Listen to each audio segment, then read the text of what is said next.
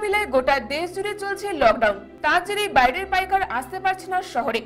কাঁচামাল, সবজির দামও তলানিতে ঠেকেছে। যার জেরে ন্যায্য মূল্যে পাচ্ছেন না কৃষকরা। তাই দিন ক্ষিপ্ত কৃষকেরা রাস্তায় কাঁচা সবজি ফেলে বিক্ষোভ দেখালেন।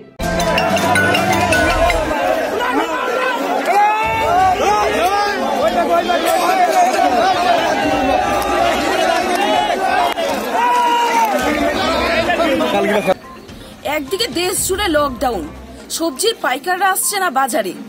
সবজির দাম একদম তলানিতে। যার ফলে কৃষকরা ভীম এবং লঙ্কা রাস্তায় ছিটিয়ে বিক্ষোভ দেখাল ধূপগুড়িতে। করোনা মোকাবিলায় গোটা দেশ জুড়ে চলছে লকডাউন। আর তার জেরে বাইরে পাইকার আসতে পারছে না শহরে। দূর দূরান্ত থেকে যে সমস্ত ব্যবসায়ীরা কাঁচামাল কিনতে এতদিন আসতেন তারা এখন আসতে পারছে না। তাই কাঁচামাল সবজির দাম তলানিতে ঠেকেছে।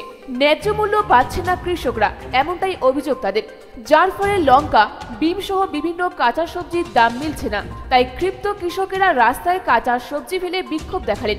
দীর্ঘক্ষণ ধরে চলে এই বিক্ষোভ। তবে প্রশ্ন উঠছে, কি করে এত মানুষ একসাথে বিক্ষোভে সামিল হলেন? লকডাউনের নির্দেশিকাকে অমান্য করে আজকে ভোর পাঁচটা থেকে চারটে অবধি মাল এখানে নিয়ে আসছি। যাতে আমরা খুব দ্রুত তাড়াতাড়ি মালটা বিক্রি করে নিজের বাড়ি পৌঁছে দিতে পারি। কিন্তু না, এখানে এসে মাল জমায়েত করল ওরা। মাল এখনও পর্যন্ত কিনতেছে না। আমরা এর আগে মাল বিক্রি করছি, কালকে বাজার ছিল নয় টাকা, দশ টাকা। আমরা ইচ্ছে মতো ওদের হাতে মাল তুলে দিয়ে বাড়ি চলে গেছি। কিন্তু আজকে ব্যাপারটা হলো কয় টাকা কয় টাকা করে বলছে? আজকে কোনো বাজারই বলি নাই। মাল নিয়ে এসে আমরা আছি।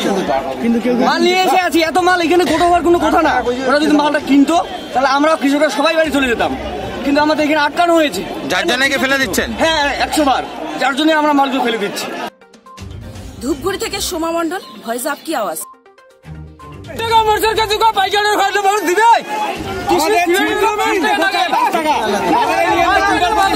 পাঁচ টাকা কেজি ছিড়াইতে নাকি পাইকার কো পাঁচ টাকা চার টাকা তিন টাকা কেজি কাউ বিক্রি করবে আমার কেন ফেলে দিচ্ছেন? জুড়ে না।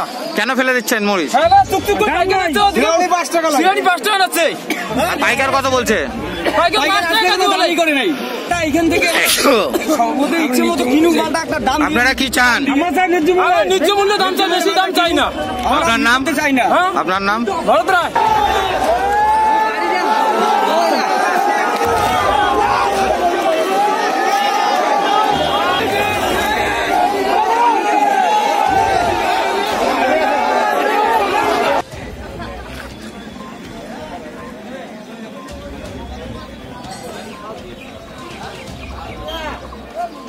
Mm.